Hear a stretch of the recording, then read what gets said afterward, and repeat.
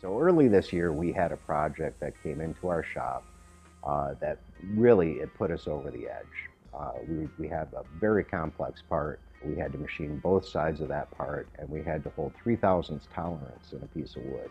Hi, I'm Frank Valone. I'm the president of Sycamore Hill Designs here in Victor, New York, and we make gun stocks and pistol grips for the firearms industry. Prior to using Mastercam, we were doing all of the coding for our CNC routers uh, writing G code. So doing this by hand and several iteration and weeks worth of uh, running the machines to get things right. Weren't able to do it. That was one of the uh, first projects that we uh, re-engineered using Mastercam. First one out the, off the machine, uh, fit perfectly, fit our gauges, and yeah, it was a real success story right off the chute.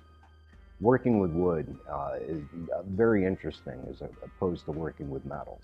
Uh, would we have to deal with grain and directions and the tool paths that we use uh, have to take into account whether you're cutting across the grain or with the grain. So speeds and feeds have to be dialed right into the piece of wood that you're using.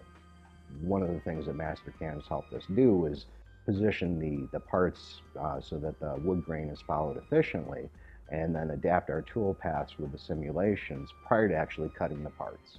So that, that's helped uh, uh, a lot of the defects get worked right out of the system before we start cutting the wood. This is fun work. When you think about, you know, taking something that's 100 years old or even something that's brand new and, you know, you're contributing a component of, of that whole assembly that's going to last for four or five generations, that gives a sense of fulfillment. So we looked at a couple of other CAD and CAM packages prior to uh, going with the Mastercam direction. One of the uh, primary reasons we decided to go with Mastercam was that the software seemed to be incredibly intuitive. Uh, I was able to pick up uh, how to use this very complex piece of software in a relatively short amount of time. That was one of the, the primary reasons. The level of support that the folks, uh, the local folks have been able to provide on Mastercam has been phenomenal as well. When I've had questions, uh, phone call, uh, if it's not answered immediately, the call is returned within 10 minutes.